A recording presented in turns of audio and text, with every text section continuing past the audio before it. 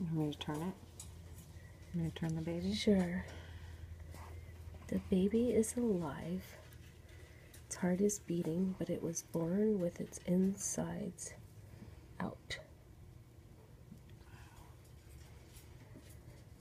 Obviously, we have to put it down. There's no humanly possible way to keep it alive. But we are trying to be gentle. It's moving. Yeah. Moving its little hands. Look, you can see his lungs.